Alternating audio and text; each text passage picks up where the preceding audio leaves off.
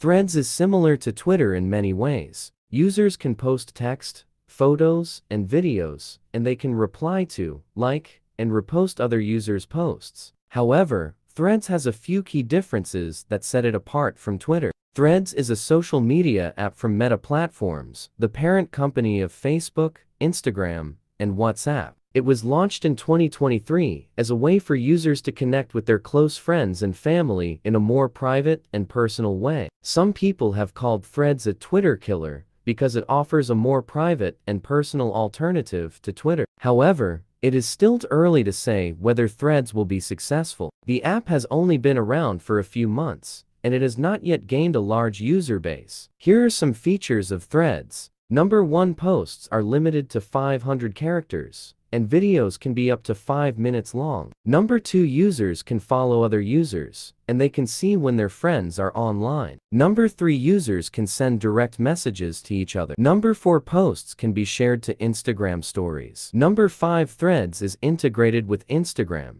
so users can see their Instagram stories in their Threads feed. Threads is a free app that is available on iOS and Android. You can download it from the App Store or Google Play.